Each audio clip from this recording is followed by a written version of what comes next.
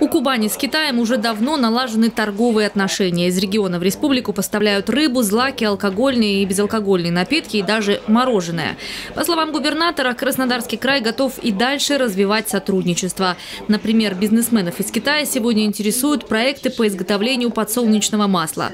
Со своей стороны Кубань готова предложить инвест-площадки для строительства этих предприятий. Мы готовы предоставить площадки китайским инвесторам для того, чтобы они построили, в том числе завод по переработке масла и иных культур э, сельскохозяйственных э, на территории Красавского края. Также я думаю, что для нас э, возможно рассмотреть вопрос взаимного сотрудничества в сфере мясной продукции.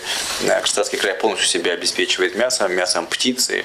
Это тоже может быть предметом товарообмена, товарооборота. Как говорится, что бизнес не нужно учить зарабатывать, тем более китайский бизнес. Поэтому я думаю, что вы сами в состоянии все посчитать, посмотреть и определить для себя приоритеты.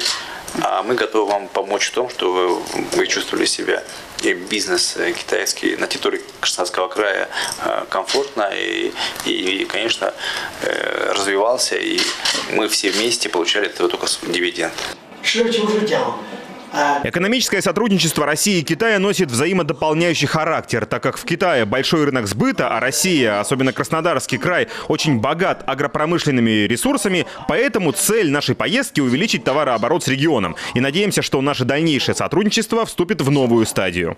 В Краснодаре сегодня успешно работает филиал крупной китайской корпорации, которая занимается переработкой зерна. В перспективе также планируют укреплять сотрудничество и в этом направлении. В завершении встречи Вениамин Кондратьев рассказал о традициях празднования 8 марта в России и поздравил прекрасную половину делегации из Китая с наступающим женским днем.